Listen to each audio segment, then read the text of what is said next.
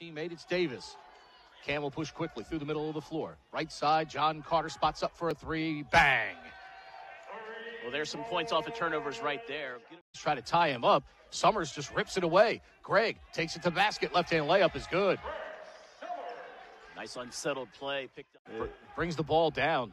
Almost kind of like Nic Lynch of Lehigh last week, who also had great success with that sweeping hook. Summers drives inside, score the basket, and he draws the foul. That's big for Greg Summers. Weaves out here back to the perimeter with 22 on the shot clock. Deaver high post, backdoor cut, Inge, nicely done.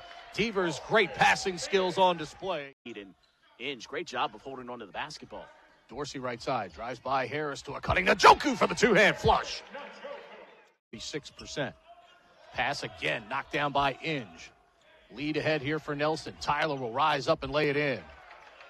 Great play by Inge, the steal. America standing up. You got six coaches standing up, and Tony Crisp is trying to get the guys to sit down.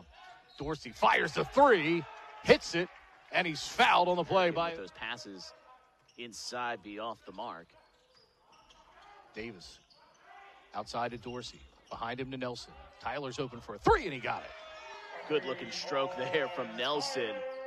He takes down the rebound. Finds Cam Davis. Davis yesterday with 34, none today. Dorsey open for another three. And a guy that had really been. Summers gets it from Lair with eight. Greg, kick out, corner, Inge, three on the way. Got it!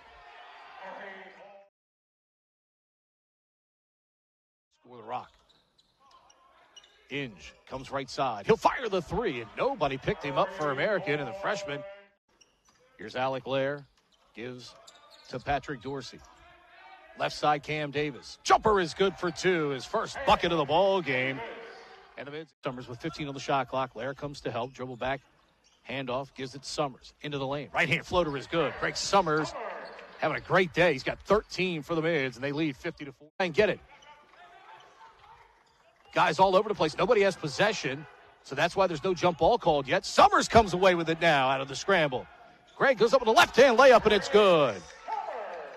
And blocked by two bigger guys. Dorsey with 10 on the shot clock. Nelson open for a three. Bang! Basket interference against Navy. Two points for American. Inge to the corner. Nelson attacks, drives. Hello! Oh my!